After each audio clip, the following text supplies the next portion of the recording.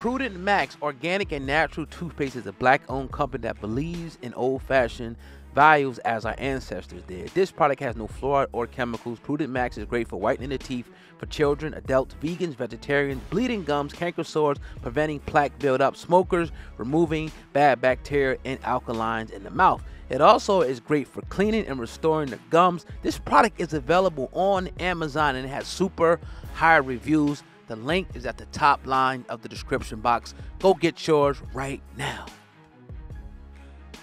Actually, a couple current things going on right now. Yeah. Before Go we get ahead. up out here, I don't know if you see what's going on with Diddy right now. What's your thoughts on that? That that's um, it's a lot, you know, because it seems like that's a tactic they use a lot, whether it's true or not. Particularly black men in power. Kind of the same thing with Cosby a little bit. But I would like to get your thoughts on that.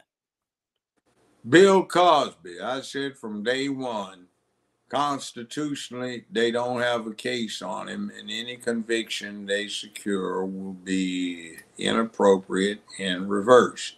And that happened. You had a chicken shit motherfucker who was the trial judge, whose bitch wife was withholding the pussy if he didn't go along with what she wanted because she was a feminist. And what wound up happening is he let a lot of shit go wrong in his courtroom, which was a disgrace professionally. And you see, the district attorney who was in power at the time says, We have no intent of prosecuting Mr. Cosby. Right. None at all. And we find that the complainant is not credible and the accusations are unsustainable. Mhm. The civil judge who had a case said, okay, since there's no possibility of prosecution, you are now compelled to make these depositions. And ordinarily, when there's a pending criminal case, Fifth Amendment says you have a right to remain silent. You cannot be compelled to be a witness against you yourself. Since there was no prosecution, he can be compelled in a civil case to provide evidence against himself if necessary. Well, the newly elected DA, some asshole, stupid motherfucking asshole, who broke his oath to uphold the Constitution and said, I'm not bound by that. I'm going to get him. So they used the deposition when he admitted to certain facts, but not the intent. In other words, yeah, I gave a heifer some drugs. She was trying to get high and get some BBD mm. or BBC. Right. And she got what she wanted. But that's not, I forced it on her. She was knowing about it. He used that as part of his case in chief. And the asshole who was the trial judge delayed for six months what he was supposed to be turning out in no more than 60 days so Cosby could spend more time in there. I talked to Dr. Cosby, hmm. and he said they told him on the parole board, sent the word down, just go ahead and admit your guilt and we'll let you out in a week. He said, hell no, I didn't do shit. The mm. alpha wanted her ass up in there to jumpstart a non-existent career. She wanted some BBC, sex, drugs, rock and roll, sex, drugs, movies, sex, drugs, basketball, baseball, football, sex, drugs, golf, sex, drugs, uh, TV, and that's what she got.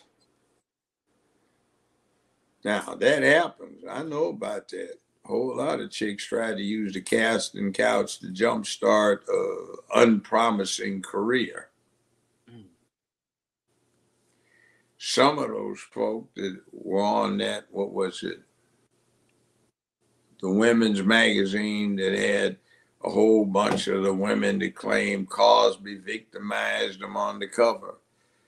Well, back in the 70s, I remember that I went to some of the Hollywood parties where they wanted some militants to come in to add flavor and we'd come there, and they'd have all of the paraphernalia and the whiskey, the wine, the beer, and the VIPs, and you'd have a chick walk in there, take off her trench coat,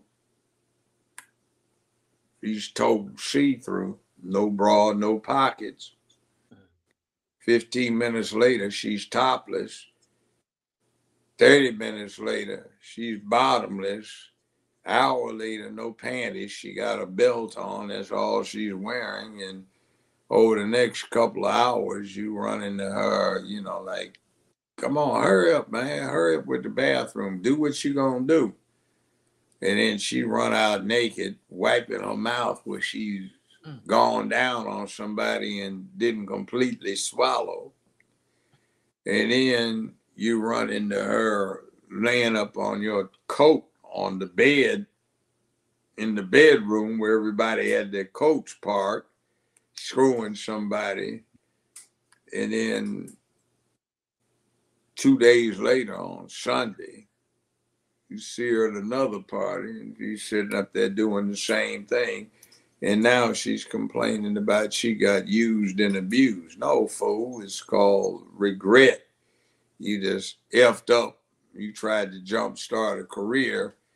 It was no more promising than how you screwed. So it is what you is. It is what it is. And you had Gloria Allred and her daughter trying to convince you after your failed career that it wasn't your fault. It was these evil men.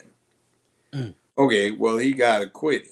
All right, there's some other stuff that goes on that you're seeing right now where we want to deal with mob justice. Mm. And that comes from inquiring minds want to know. Well, goddamn the inquiring minds. What did they say in Star Wars? Luke, patience is a great virtue. You know, be patient. Right. What, what's the matter with you? Ain't you got a life? You ain't getting laid, man. You ain't had no looky, nookie.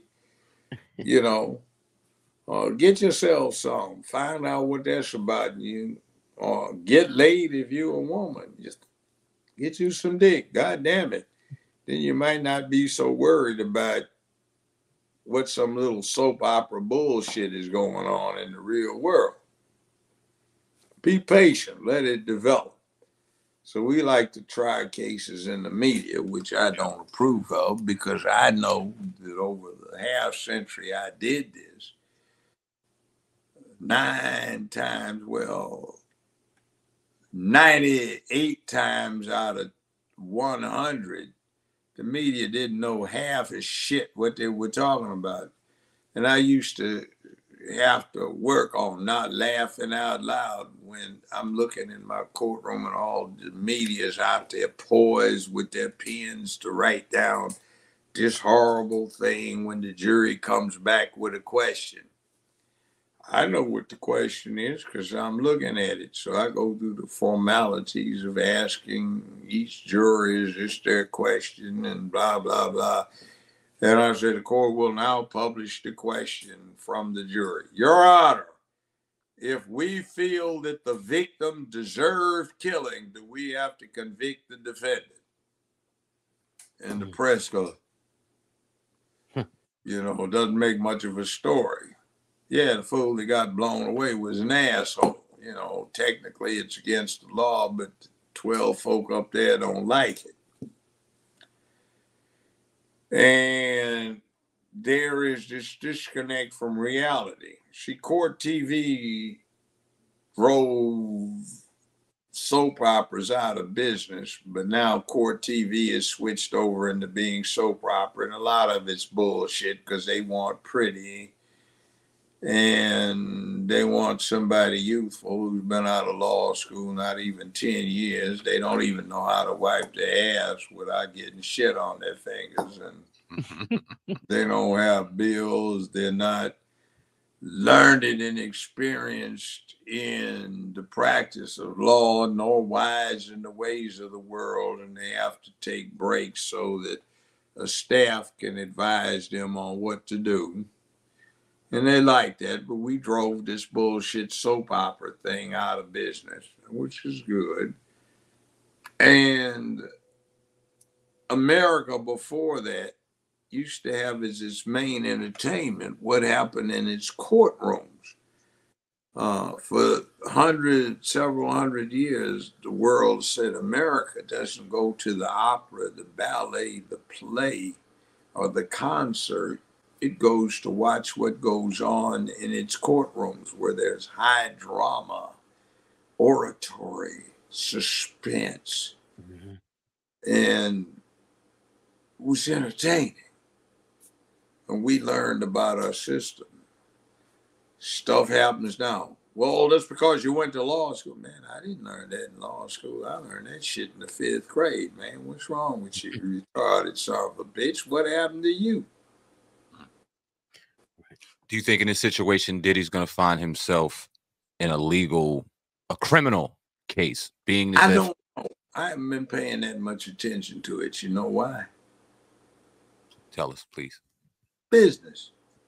I did this for 50 years every goddamn day, and I'm tired of that shit. Let somebody else do that fucking work. When it's over, I'll take a look at it and assess it if it's meritorious and it made or did not make some law. Mayor race. You had the mayor race back in October. Paul Young ended up winning the mayor of Memphis. Is talk about um, punk. He has no connection with the neighborhood. He's in his mid thirties. He couldn't walk out in the neighborhood without his ass getting kicked. So it is what it is. He's in the back pockets of the current mayor who employed him for six years, then got him a job uh, to distribute uh, money illegally under the table, allegedly and it is what it is. And Memphis is once again missing out on its opportunity to be one of the biggest cities in America, one of the greatest. And some people have gotten a little chump change under the table. So it is going to work itself out. Meanwhile, I'm still dealing with the people out in the streets trying to bring safety to them. But that's got nothing to do with anything else. But yeah, that punk move that went on within the city uh, two of the major mainstream television stations were putting somebody else's picture up there as me. And there is this guy who's quite ill, and he's a personal friend, so I won't badmouth him. Yeah.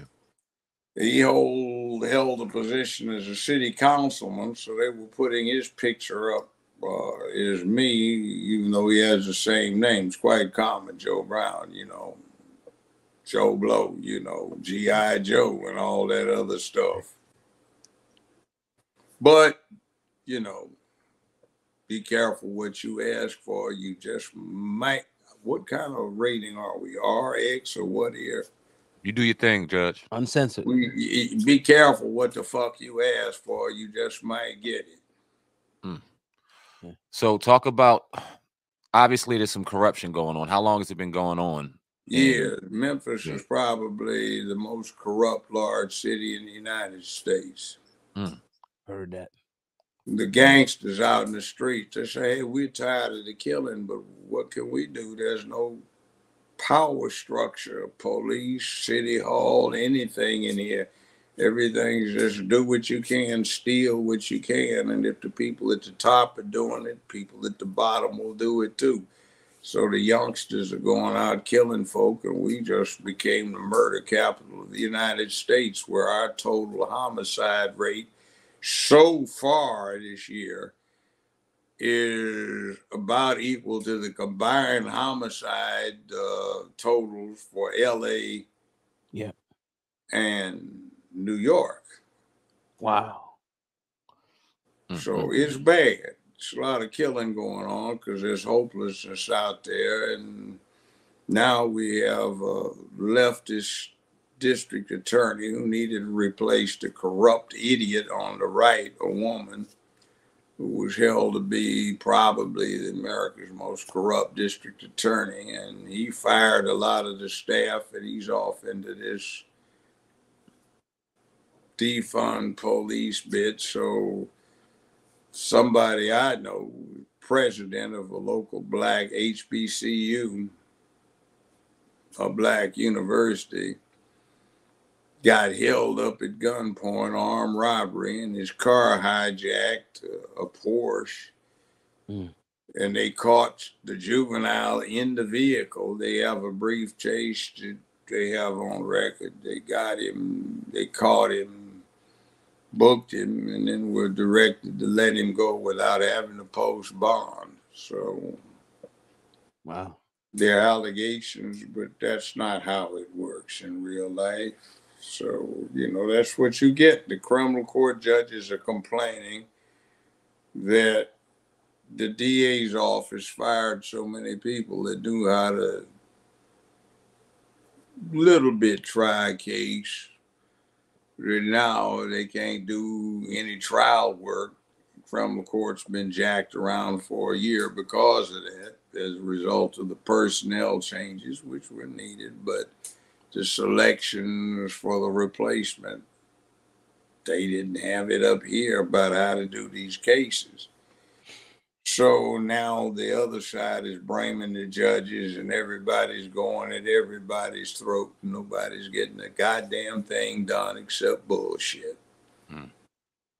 Anyway, I'll yeah. leave it at that. Yeah specific question, you know. Yeah, thank you, thank you for sharing. Bullshit, all this other kind of shit all day long. Yeah. No, we definitely been following you the mayor race, so definitely wanted to bring that up. And Too late now. Be careful what you ask for. You just might get it because now I don't have to be nice to anybody. Heard that. Right. Talk about um your time, you know, serving as a judge. I heard that you took the recidivism rate from um 80% to 18. Yeah, I did obviously the man for the job or something like that for that city. So Early talk about that. I met up with I met up with some people for lunch. About five or six folks walked by. Judge, I want to thank you for what you did. What did I do? Man, you made you showed me how to be a man. And like that was it, man. Once I figured out, hey, this is what you got to do to be a man. Ain't no more that other bullshit going down. I'm turned around, man. I'm back on track. See, what we have is too little manhood down in the hood. We got a lot of bitches out there mm-hmm. that got dicks still swinging. Mm.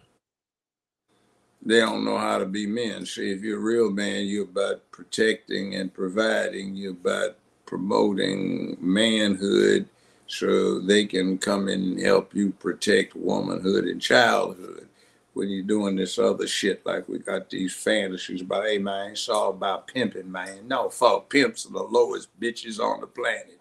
Mm. Used to be in the penitentiary, they sucked more dick than anybody else and got more butt fucked than anybody except child molesters. Mm. That's reality. Yeah. But people don't want to hear that. See, I grew up in South Central LA. I'm not supposed to be where I am right now. So that. I'll bring that like, hey, I ain't trying to get down on you. I'm just trying to tell you, like, you want to do something about changing your situation. You got to stop worrying about who's fucking you over. Everything on the goddamn planet is trying to fuck you over. So that's adversity, whether it had saber teeth and it was a tiger, you know, or whether it's a lion or something like that in East Africa it's adversity. It's your job as a man to overcome that adversity. So when you would come overcome that adversity, you kick ass one way or the other. If you aren't physically able to do it, you can smarten up to do it, or you can add yourself to the numbers of people that do it. So kick ass, conquer adversity. It's a challenge. And when you whip it, then you have something to brag about. And when you old man like me, you hanging around talking to your own boys in the driveway drinking a beer, you start talking shit about what you did. Mm-hmm. Right. A, so it becomes a real thing. That's how manhood works. So don't whine. Just look at it as a challenge to overcome. Do you feel like when he when these brothers go in and out of prison, and they get that free labor or exploitable labor. Do you feel like that's what the system wants? No, that's not what it's about. It's not free labor. They put people to work to keep them out of mischief. Idle minds mischief make. Okay. Old proverb and it's reality. Even in the military, you have to find something for the lower ranks to do because they get into mischief if they are unoccupied. What the penitentiary, the whole penal, the whole criminal justice system is about is not about reducing crime. Mm. It's about accommodating surplus labor. See, labor is a commodity like wheat, corn, cotton, beef, pork, poultry. Yeah. And when you have a glut, the price drops. Since you're talking about labor units and the price dropping for wages, what you wind up with is Timothy McVeigh types who get pissed off and they got balls and they go get ammonium nitrate, America's most common fertilizer that you can buy at any home and garden place, no ID required. If you don't already know how, you can go online and readily find out how to make a very effective long pulse high explosive that the military uses to stuff their 155 millimeter howitzer shells with and you can blow up a courthouse in Oklahoma City and kill 240 some people. They don't want that. So, just like you do with any kind of commodity glut, there are three things cut back production of the commodity, subsidize the producer, and you store the surplus. We store our surplus labor in jail cells and penitentiary cells instead of grain silos. The welfare check is the subsidy mm. for not producing, and cutting back a production is the dumb shit we listen to where we bang out, drug out, drop out, have wrong ideas of what's going on. We develop wrong lifestyles, wrong way of presenting ourselves, have wrong ideation, make where we live islands of chaos so that those places cannot engage in cohesive political activity to better uh, better self and circumstance. And we keep fucking up until we wind up getting that felony and we get put in, and then it becomes very difficult to be employed. So they have controlled the surplus labor. Meanwhile, there is a huge, huge economic opportunity to provide food, service, clothing, shelter, transportation, communications, and supervision of those that are in the people warehouses. So you see there's no rehabilitation because when you rehab from this perspective, you just make the situation worse. You've got a glutted labor market, and if you don't take the people out of the labor market who already glutted, then you wind up with a big problem. You make it worse. And there's a Timothy McVeigh out there waiting to develop and saying, "Oh, hey, we we're gonna go down on this one." Now, the point is, is that the United States of America has been caught up in its own methodology, and it is the only industrialized nation that does not have a cohesive governmental plan to keep the worker who's in danger of obsolescence from being made into a productive somebody who earns the same income. You see, right now, what we have is somebody's been working for a company for 19 years. Mm-hmm. He's trying to train his nephew on being a forklift driver for this company. But he just got a pink slip that says, Bye, sucker. Thank you for your loyal service for 19 years. Fuck you. Uh, we've got three or four corporate execs that want to be billionaires before they get to the end of their 50s. So you go whatever in the hell happens to you, we don't give a damn. But thank you for your labor. So bye bye. Now, I remember I went in the 80s as part of a legal crew to Louisville, Kentucky. Mm-hmm. And we visited this large plant. It had 4,500 some workers in three shifts, 1,500 a shift, three shifts a, a day, eight hours a day. And uh, it was a huge place. Well, I went back in the early 90s, and instead of 1,500 per shift, 4,500 total, they had a net total of 380 some employees, and that was security, maintenance, and some folk that were in lab coats that were on the top in the penthouse area where they operated the computers for this fully automated factory that now 380 people had replaced 4,500 people. So fuck you, the rest of you you're on your own. We don't give a goddamn. Government doesn't give a goddamn. Get your ass pissed off and we'll find something that you can displace your anger on. Meanwhile, all the rest of you that got displaced, if you can't come up with a hustle on your own, we will house you in a warehouse, aka penitentiary, and fuck you and your kids, your mama, your daddy, grandparents, your spouse too. Yeah. So it's it's what is done, and that's why we have this problem. The pipeline between schoolhouse and jailhouse is real, but not for the reasons most people think. The use of prison labor is not to gain profit, it's just to keep the labor out of mischief. If they're tired and they're working, they get commissary or something they can put toward commissary, then they behave. Meanwhile, you don't teach them how to get them get it together because you don't want them to get it together. And if they get it together, as far as you're concerned, it's worse. That's a real life myth.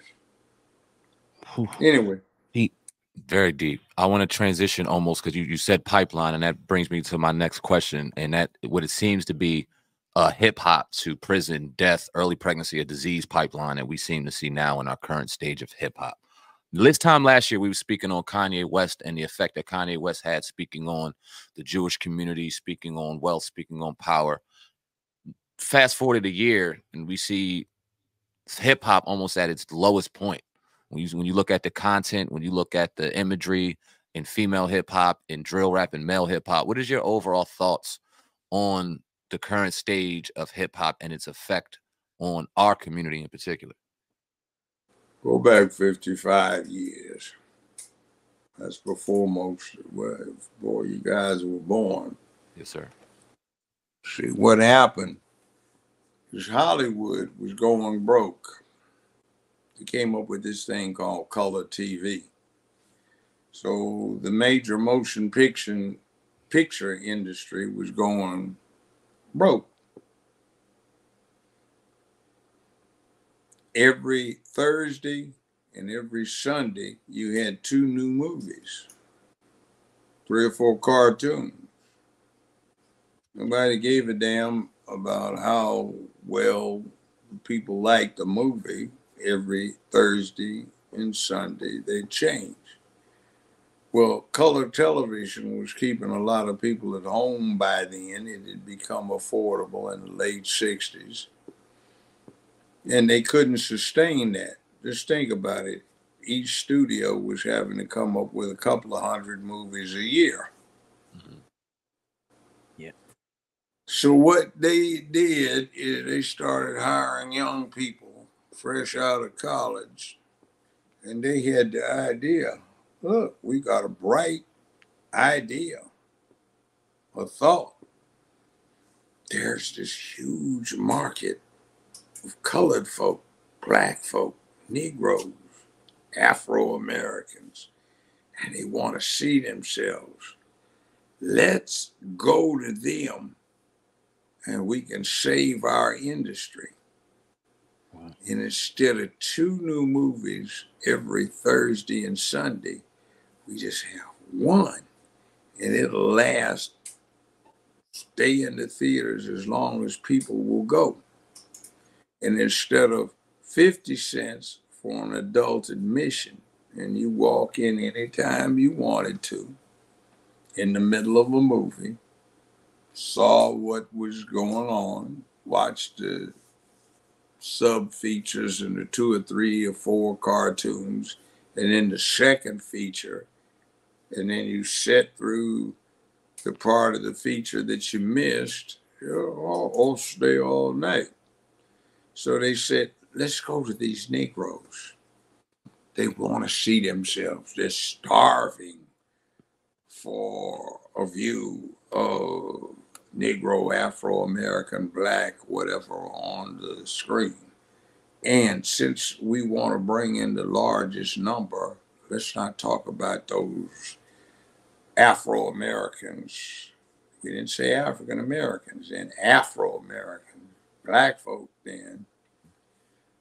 Not the ones that are trying to be about something. Let's pick, pick the pimps, hoes, drug dealers, robbers, thieves, murderers, drug mm. dealers, etc., so we can appeal to the lowest common denominator and bring in the most amount of money. They started off with Black Caesar, starting Fred the Hammer Williams, who was playing the part of uh, an assassin, uh, drug kingpin who rides off into the sunrise smoking a big cigar. 18 months later, 20 months later, they followed up with Superfly, Ron O'Neal, pimped out, glorifying the sale of cocaine, which corresponded with the FBI making sure that cocaine got into the black community. And we started glorifying dysfunction. The pimp, the hoe, the drug dealer, the etc the fucked up folk became the things to emulate, and they made them exemplars of what you ought to be. I remember when Superfly came out, 1971 in LA, and I remember I was doing an intern thing in 1972 in Washington, D.C. Me and my roommate I'd gone to high school with, we drove around a theater that used to be on 14th and U, near 14th and U. And there was a line coming out of the theater. It went to the end of the short end of the block, down to the long side, down the long side down the other short side, back up the long side, and then short side back into the theater. And people were standing out there for two or three hours to watch Superfly, which was a poisonous piece of bullshit. Hmm. People had been wearing subdued dashikis, wearing afro jeans and combat boots and fatigue jackets, ready for the revolution. Mm-hmm. Then they started wearing platforms and mm. Bullshit pressed hair again, looking like something out of the early modern history museum wing of the Smithsonian Institution from 1950 something. And as Malcolm said, a processed head equals a processed mind, but they were sure doing it. Everything was pimped out, pimp your ride, pimp your persona, you know, bullshit. It was dysfunctional. You got Pam Grier. She was beautiful, man. She was fine back then. But she started switching from playing these roles where her brother got murdered by the drug dealers, so she wanted revenge on the drug dealers. And if you saw the unedited versions, she got knocked down, knocked out five or six, seven, eight times per movie, and her pussy and tits would all show. Mm. And there would be four or five naked white women that somehow or another managed to get integrated into the scene. So they walked out half well naked, getting out the shower. And then it became from the brother got killed to the brother was a rival drug lord, so the woman wanted to take over from her brother as a drug queen, and then it got worse from there. So over 55 years, you got this pimped out mentality where the black folk became bitches to be put out on the street to be fucked by tricks hmm.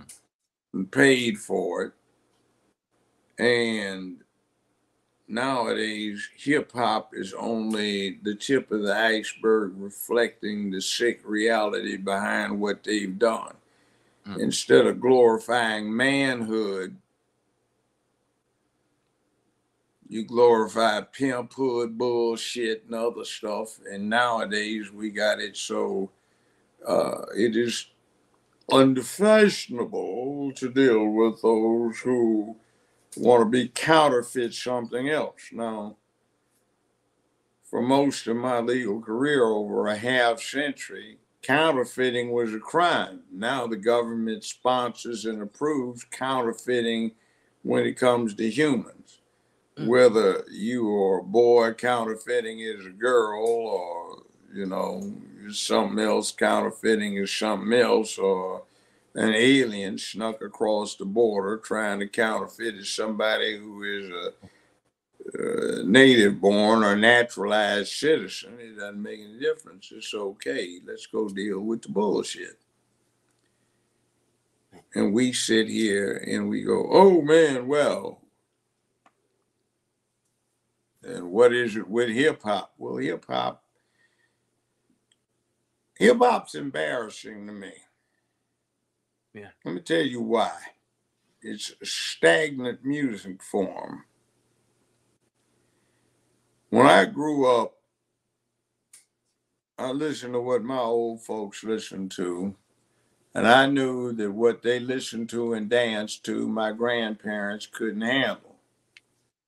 And I know what I listened to my parents, let alone grandparents, couldn't listen to and couldn't handle. Hip hop's been in place for 45, 40, well, 40 years. So you have grandparents, parents, parents, or maybe even great grandparents in there in a club dancing to, listening to the same music. Just doesn't fit, stagnant. A certain ethnic group has been making a lot of money by pushing something. And the general theory, if it ain't broke, don't fix it. And since it sells a lot, what you get is let's keep up with hip hop that is 40 some years old. And let's not go into new music. Let's talk about gangster thug rap. But you know, that's been going on for a long time. I remember years and years ago, going on 50 years ago, I went to a thing in Manhattan mm-hmm. That came up, well, no, not Manhattan, Harlem. Mm-hmm. And they had a DJ review. And what the style was, is that the DJs would put on these block parties and they would talk shit. And they do the rap, you know, as they're spinning the records and they start scratching them, you know, and all of the rest of it, and go, yeah, man, it's down, you know, this is hip hop. Robert don't come into town, man. You know, it's all about the flow. You know, it ain't about the common Joe. It's all about the thing you got to deal with. You know, you got to be with the man on the wing. You know, you got to fly. You got to try. Yeah, and then they would have competitions and that's when your rap started. And then later you got that ego rap that started up in the late 1970s. Mm-hmm. And that's been too long for a music genre to stay where it is, but for the fact that the Western world has been trying to destroy masculinity. So you have a group of young males who want to be men all over the planet and they look at gangster hip hop rap video and everybody's down with the half naked babes and it looks like men are in charge but it's not really that what's going on is the females you see half naked that's their great grandmamas their grandmamas their mamas mm. their favorite aunts and friend girls are the same playing bitch hanging outside of the back stoop in the projects, half naked, trying to get fucked so they get knocked up and get a bigger check. It's sickness. Mm. And when I look at a gangster rap video, I don't see a bunch of men. I see a bunch of bitches that are trying to emulate their favorite arts with something in their psyches that got put there when they were eight years old and their favorite 13 year old out was talking about getting over. It's really kind of sick when you know what you're looking at. It's kind of like germs. Floor around here is waxed. Right. Got a housekeeper. She makes sure it stays waxed and clean. You drop something 50, well, 500 years ago, 400 years ago on that floor looks like this. People pick it right up and eat it. Right. But you see, I know that that means there are germs down there. You get your ass sick. You pick that shit up and eat it off the floor. But you see, now that I know what I know, when I look at some of the stuff that everybody's talking about, yeah, mine is down, do you know DJ so and so and so and bullshit, bullshit motherfucker. He's sitting up there acting like a bitch. He's modeled himself on his goddamn hoe aunt who was 13 with two children. Mm. Damn. Now, you think I'm lying about that? 1994 in my courtroom, I had a 57 year old woman, female. She was her mama's second oldest child. She was born when her mama was 14. Wow. But the 57 year old was in my courtroom. Also in my courtroom was her 43 year old daughter, who huh. was her second child. Damn. Born when she was 14. Yeah. The 43 year old daughter, get this, had a 34 year old daughter in my courtroom born when she was one week shy of her 10th birthday. Wow. What in the world? Oh. The 34 year old daughter in my courtroom had a 21 year old daughter in my courtroom born when she was 13. The 20 year old, 21 year old in my courtroom had an 11 year old girl pregnant with her second child. No way. Now, 16 months later, the 57 year old fucked up and was back in front of me on a probation violation. She was now 59. The 21 year old was now 23, and her 10 year old daughter was now 13 with three children. What? So I was making the now 59 year old come back every two weeks so I could eyeball a ball of defective ass. And one week she came in and she had 342 lineal descendants. Just two weeks later, she had 358. This was in 1996. Now, in 2000, the year I retired from doing the criminal court stuff, which was two years after that TV program started. I had a lot of leave. I had accumulated. This woman had 3,400 lineal descendants, and 120 of them were in my courtroom alone. 120 plus. one of her 29 year old great great great grandsons had guess how many children 63 What? by 58 different baby mamas Oof. out of this 3400 we found exactly two that had ever graduated from high school those two got essentially kidnapped by their fathers and taken to Chicago, where they had a decent school system back then. And they were the only ones that we could find out of 3,400 plus we knew about who had had jobs. Now, you want to know what's funny? One of the guys that I'd gotten involved in the analysis was a PhD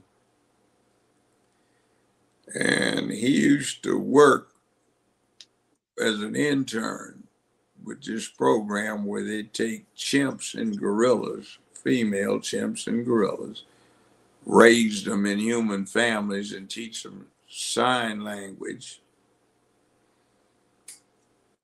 And he had analyzed one of these idiots in my courtroom. Guy thought he was a gangster. Mhm. I said, Doc, don't tell us yet, but are you familiar with Brother Davis? Or excuse me, Dr. Davis? Uh, yes, sir. What is that? What do we tease him about? Well, Your Honor, you're talking about the apes? Yes, sir. Well, he participated in these studies of these apes, chimps, and gorillas who were taught American Standard Sign Language. By the way, is that the same series of examinations that using English were given to the defendant in this cause sitting over here? Yes, sir. She Oh my God, Judge, I just now put it together. I said, Hold it a point. We talked about a few other things. He said, But Judge, I just have to add this. It's maturation the apes were immature. They very seldom got past 8.2 years in human maturity. I said, look at page 11. So, well, the defendant's only 7.9 years in human maturity. I said, now you tell me what your conclusion is. He said, Your Honor, they got exhibits at the Memphis Zoo that are smarter than the defendant just here in the courtroom. God damn. I said, yeah. See, and when we last studied this woman, she had almost 96,000 lineal descendants, literally, in West Tennessee, and she was still alive. Hmm. And all of them were fuck ups. But see, nobody talks about that. And as a race of people, if we're going to get anywhere, we have to do something about it. See, primary problem with us is gotten back to this thing about glorifying dysfunction that I spoke on earlier. Right. Is you want to get rid of manhood. And for a long time in American history, the main way to get manhood out of the way is to have his mother teach him, the boy, he should not be a man and should be a good slave. Mm. Now, I know that because I spent many a long hour in DC working for this think tank, going over the microfilm recordations of what we call slave pamphlets. Man, eyes used to ache, back ache. You know, like man, I want to go home, get get laid, man, get get some nookie, man. Hell, it's bad, man. All these fine women that used to live in Chocolate City, D.C. Hell, for every goddamn brother, man. Goddamn. Ain't no more. It's Rainbow City now. It ain't Chocolate City. Mm. Ooh. Man. 55 years, 50 years ago, man, it was some, ooh, man, you got to believe it. And I'm sitting up in the library, I'm going, God damn, man, I'm looking through the readers and I'm going, man, damn. And see, I'm looking at what the slave masters were giving each other as advice on how to raise slaves for fun and profit. Kind of like the modern day infomercial. Once I was broke, you know, down and out and borrowing money from relatives. Now I have a yacht and three, you know, Rolls Royce uh, vehicles and four homes and this, that, and the other. Yeah, that's what they were talking about. Hmm. And part of the process was getting the slave mother to raise her offspring as slaves. They equated the two situations. Well, not equated, but they said it's the same as raising horses. I had a fine ass movie star quality looking ex wife, took me for a lot of money. Mhm. on. Right. And we had a ranch and we were raising horses. And I know a lot of what I was reading in those slave pamphlets about the equation between black folk and horses was Right. true. You cannot take a wild herd stallion and domesticate it, but you can use it to breed. But you can take the chief mare, female horse, in the herd and you can domesticate her. And if you domesticate her, she will domesticate, help you domesticate her foals, offspring, and other young horses. And I know this when you were breeding horses, if you kept the foal with the mother long enough, she would quasi domesticate the horse. If you got a foal that had been weaned from the mother too early, you had a harder time to get the horse domesticated. Okay. So they did that with black folk. And over and over, over a 150 year period, I was reading stuff that said you must, under all circumstances, resist the temptation of attempting to interact with your slaves through your butler, through your huntsman, through your gun bearer, through your favorite carriage driver, even if you may have a friendly relationship with him, you must always interact with your slaves through either your overseer or senior female slaves. Never Wow. go through the male. Wow. Never. And there really was William Lynch, and his secret, I think the first pamphlet of his I read was dated 1706, was that the Negro is like a horse. They do things similarly, and what works for horse breeding works for Negro breeding. And if you want to domesticate your Negroes, do the same thing that you want to do when you want to domesticate a breeding stock of horses. You go through the female. So black men have a legacy of not protecting the black race, and black women have a legacy of facilitating the enslavement of the black race. And you can see that with the Democratic Party continuously pushing black female for this position, black female for that position, black female for the administrator here, black female for the nominal head of this bureaucracy over there. Absolutely. Wow. So you have to have a cooperation. And it's always been my theory. And I got in some hot water with some idiots behind this. that said you do not need to have a black woman as the first black person on a dollar bill or some denotation of currency. You need a black man. And interestingly enough, the same year they wanted to jump me for that, I got Man of the Year award from the Harriet Tubman Foundation Wow. because she said in her own writings, if in the future,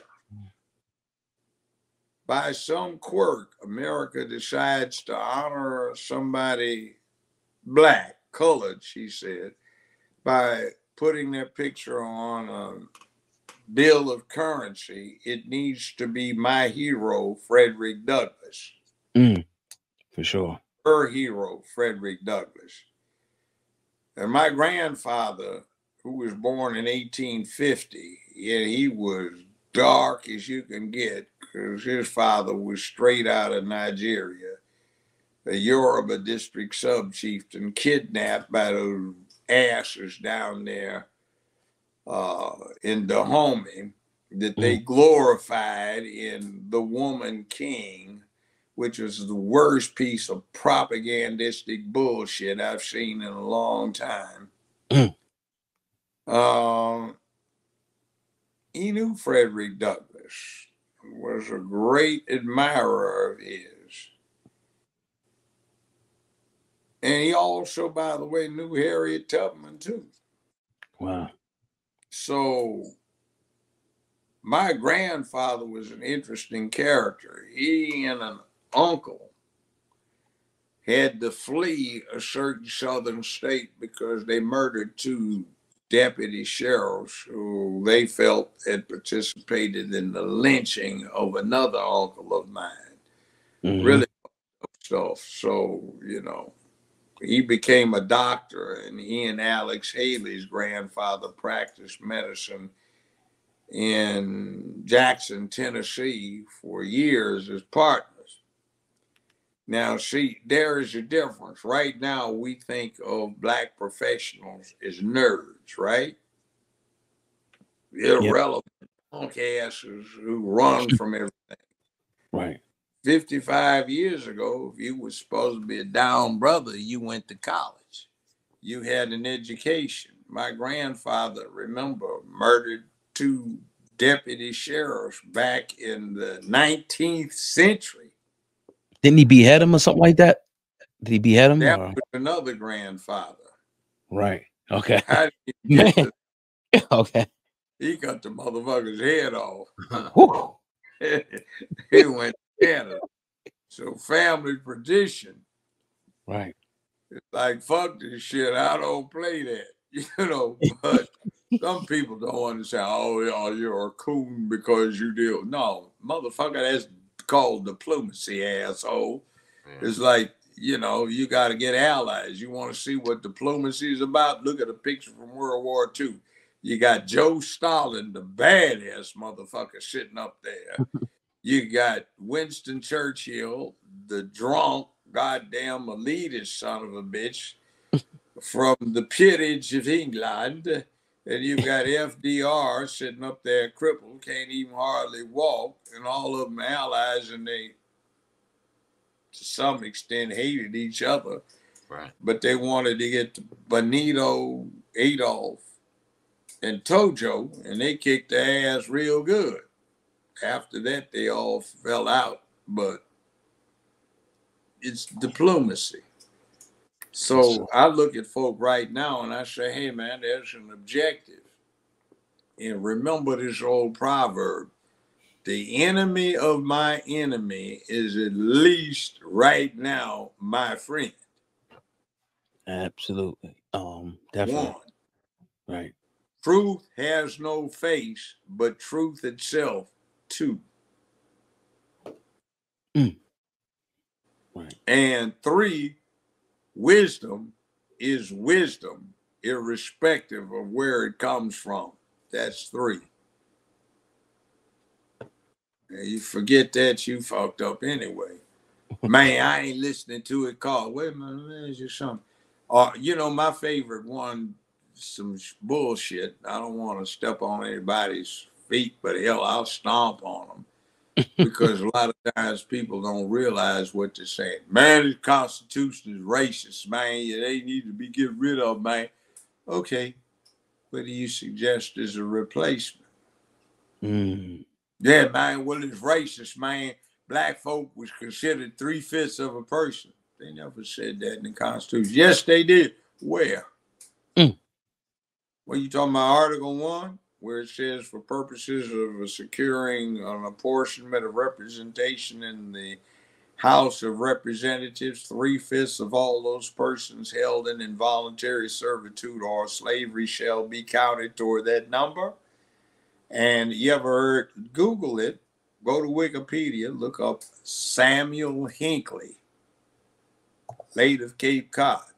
That motherfucker was one of those three fifths people, but seven of his descendants were U.S. presidents, including Barack Obama, George Herbert Walker Bush, and George Walker Bush. And one of his descendants was the U.S. vice president, that's Dick Cheney. Yeah. They never, by the way, the Constitution never once mentions race. Not hmm. one time.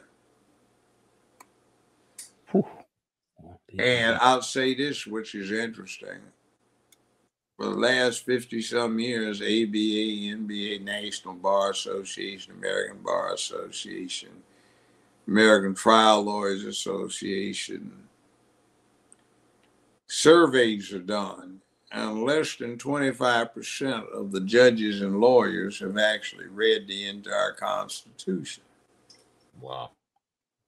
we study some aspects of it, but we haven't read it. And less than 5% of the people who represent the people of the country and of the states and of the municipalities and counties have ever read the Constitution that they've sworn to uphold. So it's really kind of messed up. But anyway, she the analogy to that, by the way, is if you can draft up and propose a better replacement, give it to me. I'll read Yeah. it. But let's give a parallel. The NBA, National Basketball Association. Now we watch basketball, don't we? Oh yeah. Yes, sir. One time, the NBA was probably one of the most racist institutions in the United States of America. Mm. 1946, the Lakers, when they were in Minnesota, hired Don Barksdale. Don Barksdale had never played basketball. He played football as a wide receiver for UCLA, and he ran track, the high hurdles, and the 440. But he was a great athlete, so Lakers hired him. That was the first black man in the NBA. Now, when you think of basketball, LeBron and Kobe and Shaq and Yeah. Magic and all the rest, you think somebody black, don't you? Yeah, dominated. Yep. Yeah, but do you want to throw the rule book for the NBA out the window because when it was fundamentally created, it was created by one of the most racist institutions in America? Mm. Right. Constitution was created by a very racist institution, but it doesn't check that box of it's not wise. Probably the best anybody's come up with in the world and world history when it comes to governance. So I always say, okay, let's replace it. What the fuck do you want? Give it to me. Let me see it. I want to read it. There you go. I want. I want to. I want to. Uh, I want to ask you a couple current things going on right now. Yeah. Before Go we get ahead. up here, I don't know if you see what's going on with Diddy right now. What's your thoughts on that? That that's um, it's a lot, you know, because it seems like that's a tactic they use a lot, whether it's true or not. Particularly black men in power. Kind of the same thing with Cosby a little bit, but I would like to get your thoughts on that. Bill Cosby, I said from day one, constitutionally, they don't have a case on him, and any conviction they secure will be inappropriate and reversed. And that happened. You had a chicken shit motherfucker who was the trial judge, whose bitch wife was withholding the pussy if he didn't go along with what she wanted because she was a feminist. And what wound up happening is he let a lot of shit go wrong in his courtroom, which was a disgrace professionally. And you see, the district attorney who was in power at the time says, We have no intent of prosecuting Mr. Cosby. Right. None at all. And we find that the complainant is not credible and the accusations are unsustainable.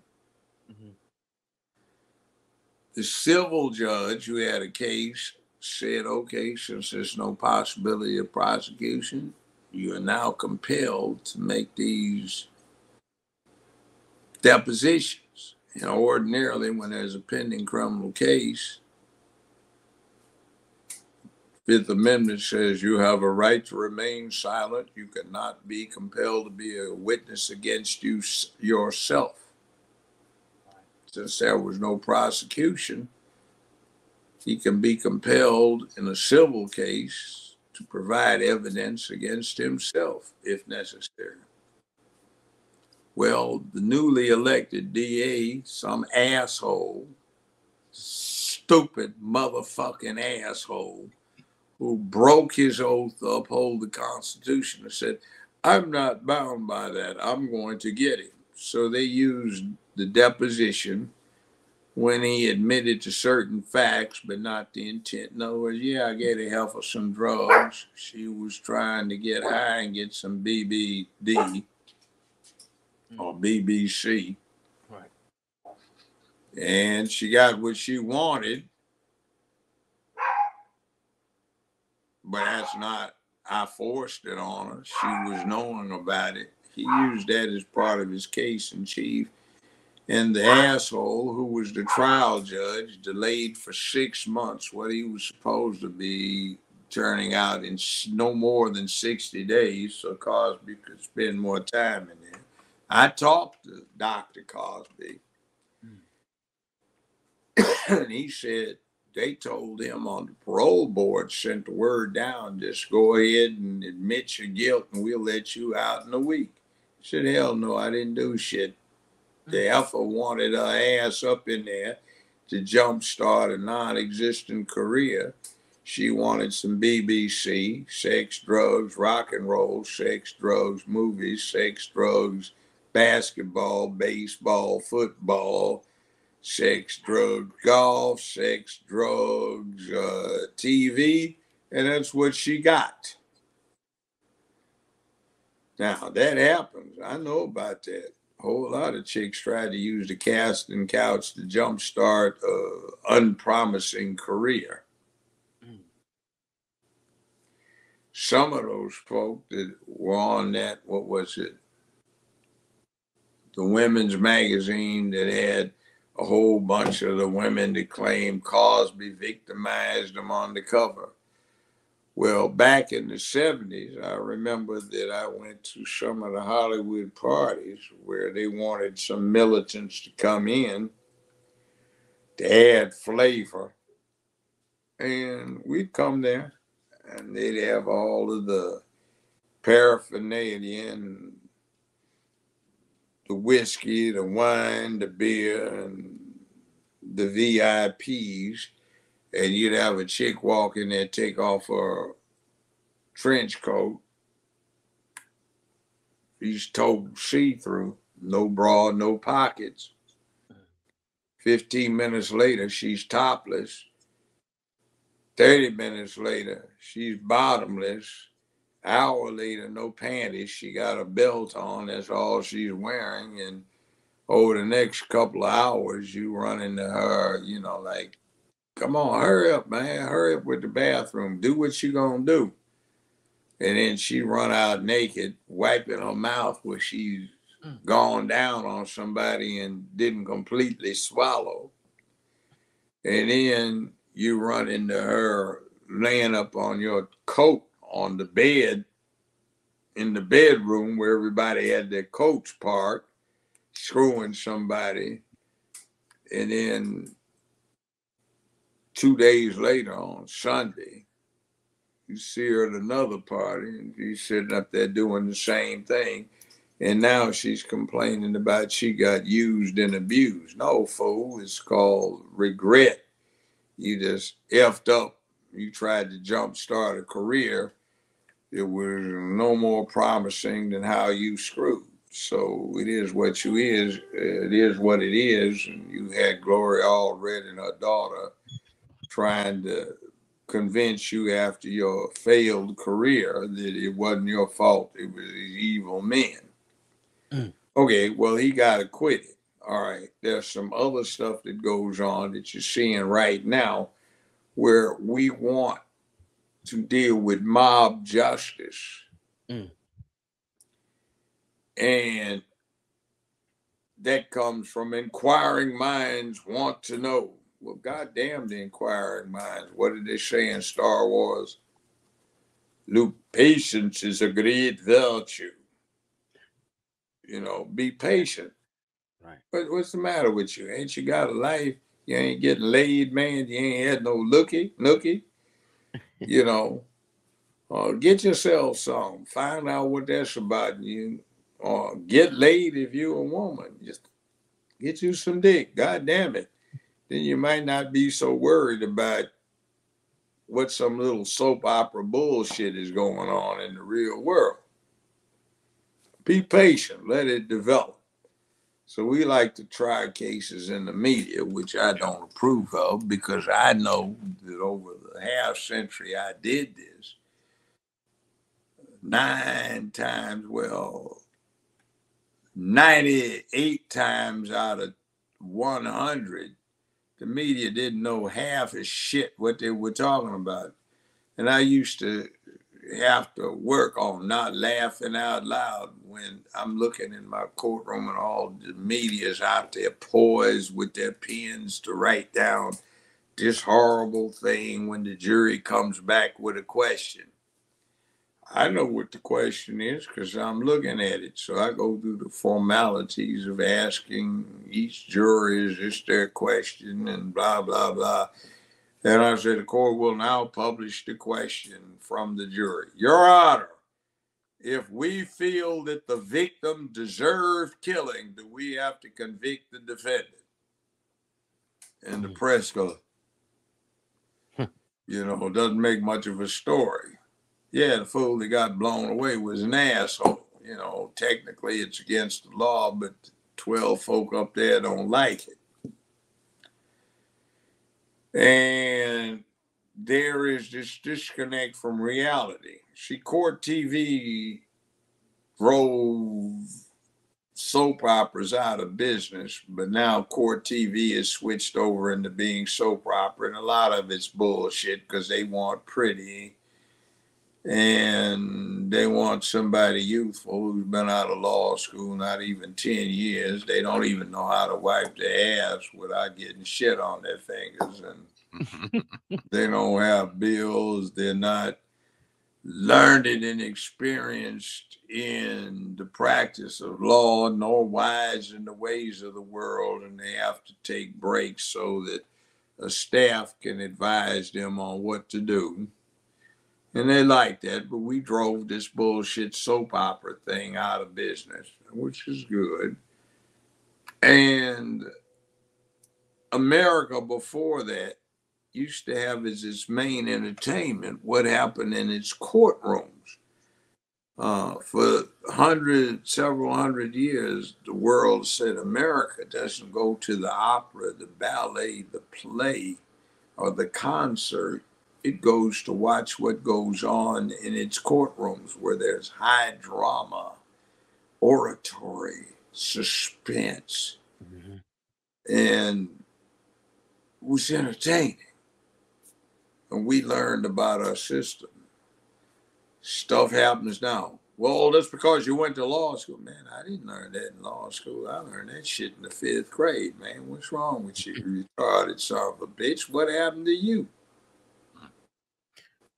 Do you think in this situation Diddy's going to find himself in a legal, a criminal case? Being I don't know. I haven't been paying that much attention to it. You know why? Tell us, please. Business. I did this for 50 years every goddamn day, and I'm tired of that shit. Let somebody else do that fucking work. When it's over, I'll take a look at it and assess it if it's meritorious and it made or did not make some law. Now, I rem- oh, sorry. That's it. I was um you was telling a story one time, uh maybe from 97, 98, where you were um in a uh maybe like a party and a lady told you that a guy pretty much said that she would pay her uh two thousand dollars to say that Oh, she yeah. Uh, my the show uh, that started in September of 1998 had been going for just a month and a half. This was uh, November, late October, Mhm. 1998. I was a bachelor, man. I was throwing down all these fine, fine ladies Right. in the soaps and movies and television, man. I'm dancing with these fine starlets, man. They was looking good, yeah. So I like to dance, still do occasionally. And I wound up hooking up with this sister. Uh, we were sitting at a table. She got up, excused herself to the ladies' room, took a little bit of time to come back. When she got back, she said, You know that tall dude over there in the gray suit? I said, Yeah. Said he's the CEO of the company that, you know, is doing this show I have. Said he walked up to me and offered me two thousand dollars in cash if I'd signed this bullshit note that you were trying to cop fields on me. Mm. What? So she and I went around and got written statements from most of the women I could remember I danced with that this dude had done the same thing. So we laid a trap for them. I hired this beautiful sister from out of Mississippi who had become a Miss Washington, D.C. Damn, she was fine too, man. Gentlemen, that was one fine lady. Yes, indeed. Oh, yes, yes, yes, yes, yes. Anyway, we set a trap. And she started feeding this false information to the wife of this person that was CEO of the company I was working for.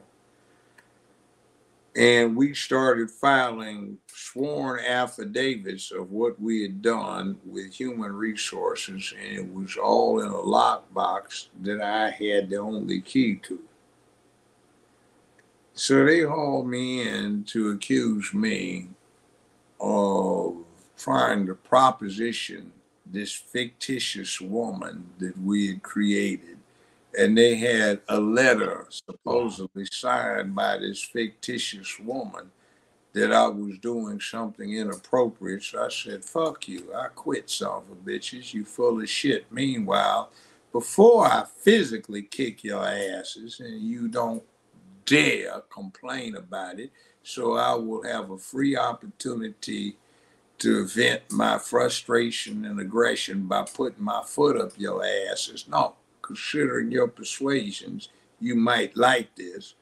I said, let's bring Department of Human Services over here for the studio, see what they've got. So when they brought it out, well, in six weeks, I was the only one left standing.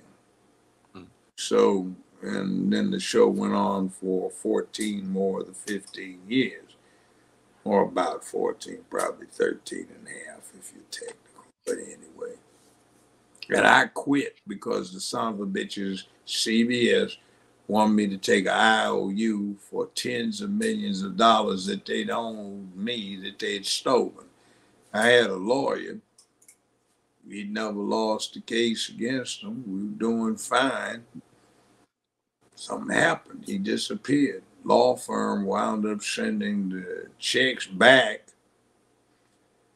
and he disappeared. Think he died. Family was asking me had I heard from him or seen him. Wow. So shit happens. It gets interesting. Hollywood is vicious, it's low down, it's petty, and it's populated by a bunch of folk who spent their entire adult lives in the make believe. They have not dealt with the real world. They sit on their little soft asses on leather chairs and leather sofas in the bar areas of five star hotels, and they drink Chablis with their fingers stuck out. Have you heard about this little incident going on? Oh my God, Earl, it's awful. I heard it's really bad. Mary, what do you think? Oh, I don't know. Uh, Schwartz, what do you think about this? Blah, blah, blah, blah, blah. And see, they're totally disconnected from the real world. And a lot of these folk you see in the movies, yeah, man, we're going to have to make a move. We got to deal with this issue, man. And when you run into them in reality, oh my God, it was so fascinating. I almost creamed my pants when I played this part. Oh my God, it was so thrilling. God damn. Shit. Whoa, dude, damn. I ain't never going to see no more of that bullshit. mm. yeah.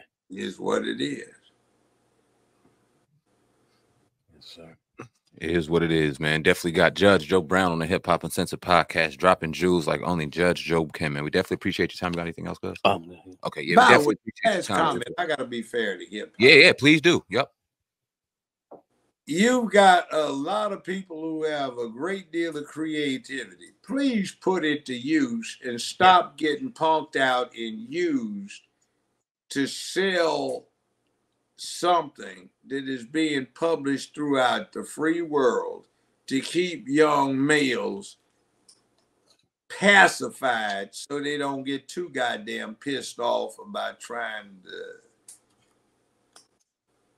be emasculated. Yeah. What you see in hip hop gangster rap video is not masculine. Female. Mm. See, fundamentally, you go back to the ice ages. Men have been about the business of protecting and providing. Yes, sir. See, you know what our job is. A lot of people don't get it. And if you don't work on it, so you do.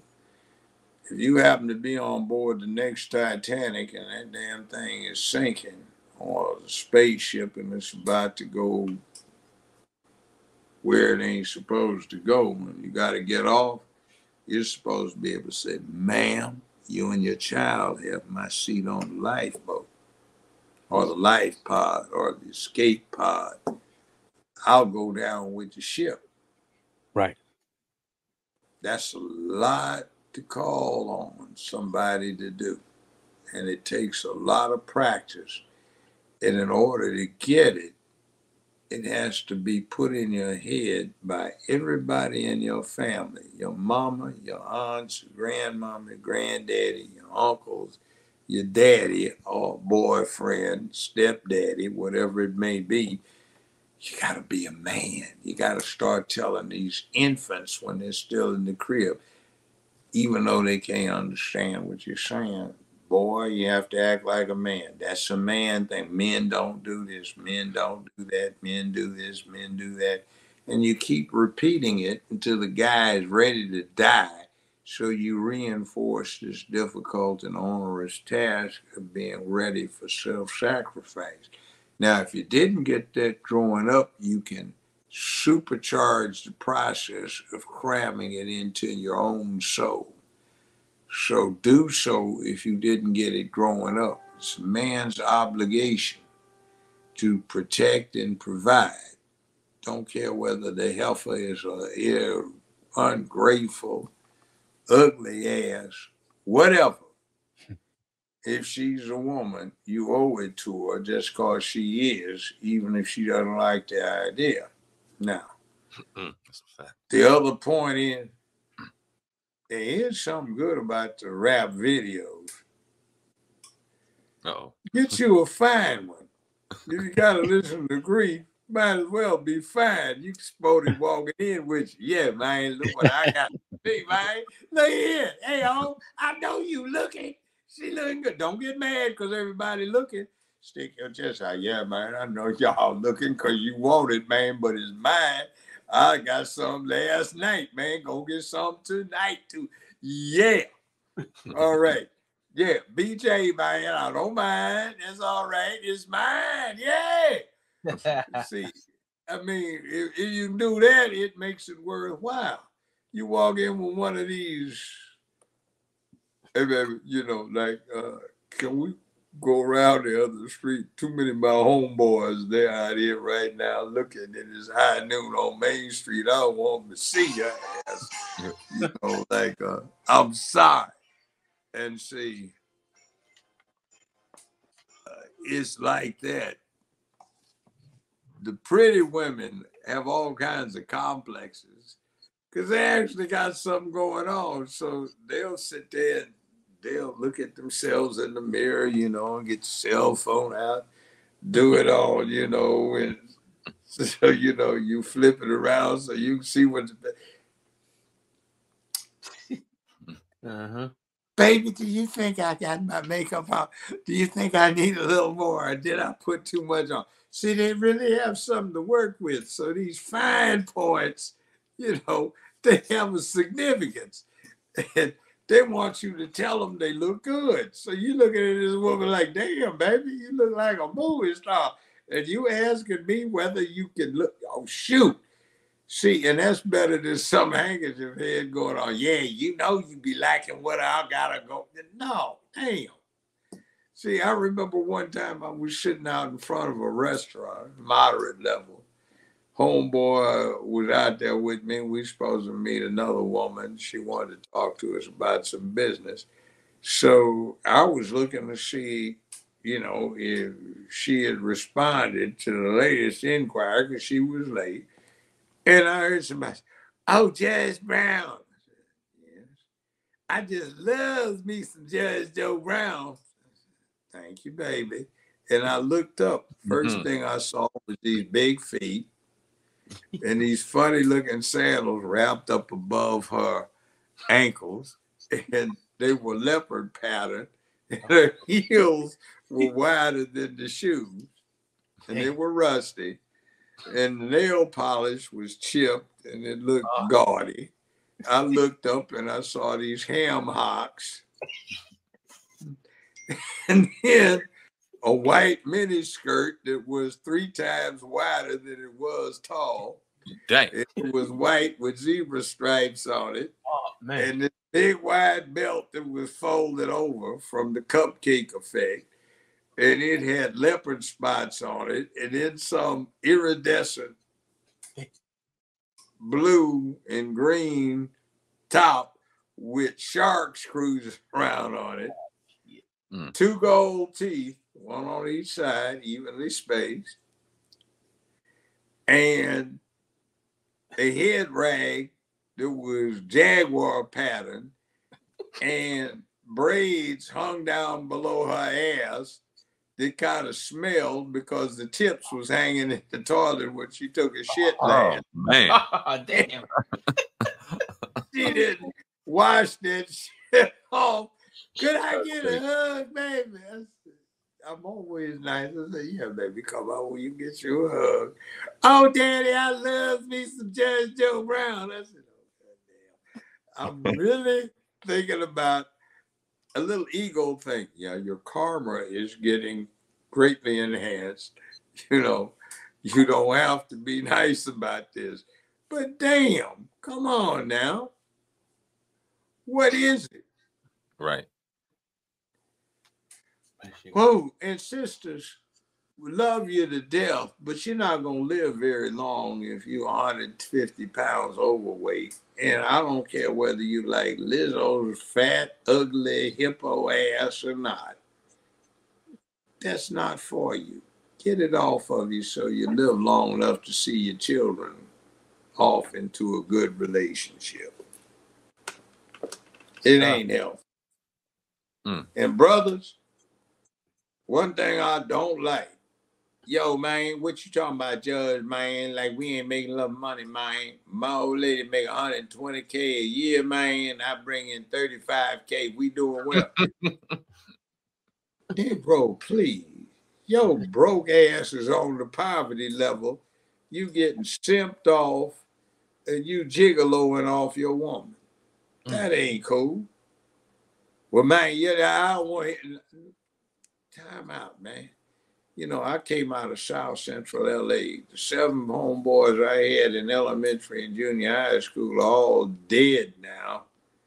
I'm the only one that got out, and the reason I got out, outside of three of them, just overworked and died of a heart attack, was uh, there's some things you do and some things you don't do. So if you don't know how to do it, spend the time to learn how to do it. It'll come. Might be a little late getting there, but when it gets there, it'll be much more substantial and firmly rooted into the groundwork of success.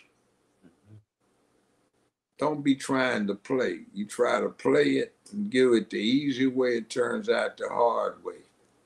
Because what they call work, hard work, has been going on for couple of hundred thousand years at least. And that works because the planet ain't a fair place. What'd you have, young brother, in the dark sweatshirt for lunch? What did I have for lunch? I had a uh, it like a, a bowl with like uh, chicken, vegetables all mixed into it. Brother, what'd you have? Man, I worked last night, so I uh I had some fruit and I didn't eat yet. I just had some fruit. Woke you up and eat came in meat? I don't eat meat. I haven't eaten meat in seven years. Okay, all right. Well, brother, the bowl you had with your chicken in there, do you think it was fair to the goddamn cluck cluck that his ass to eat it there? Hell no. Nope, nope. The world ain't fair. That's a conceit. That's a So fact. when the world ain't fair, don't expect it to be fair.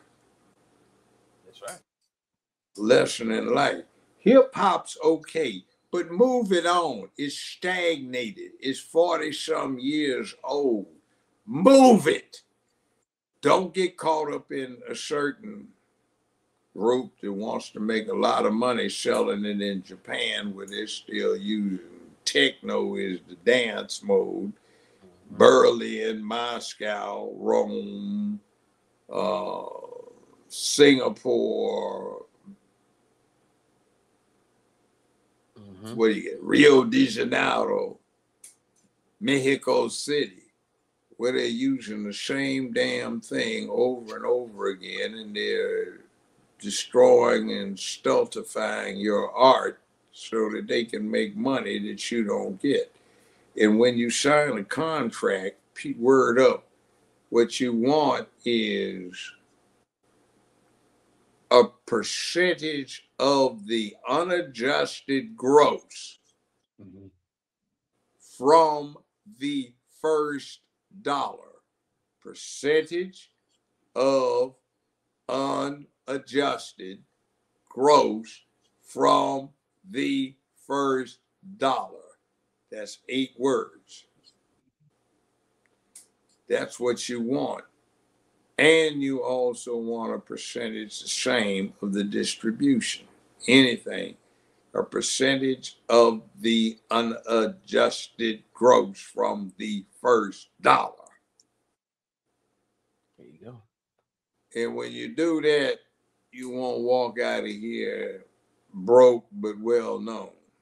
And by the way, what you see in terms of what people supposedly make is Hollywood, Madison Avenue exaggeration to make you look better.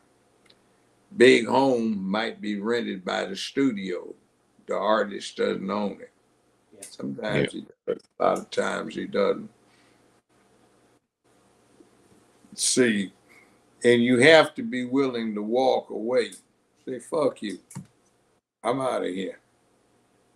And I'll come back with a better offer. Now, I did my show for 15 years. If you read Wikipedia, it will tell you I was the highest paid man in Hollywood, white or black. Doesn't really make any difference now because the ex wife got a whole bunch of that. she was fine. God damn it, she was fine. but fuck it. It is what it is. I'm getting that rocking chair. I don't want that rock. Uh-huh. Granddad, what you giggling about? yes, it was good. Yeah. when you grow up enough, I'll tell you about it. but anyway, have fun. And here's the other little dirty, nasty secret life is not long. And see, I didn't understand what old folks were trying to tell me way back when. And nowadays, I try to make sure young folk understand it. Yes, sir.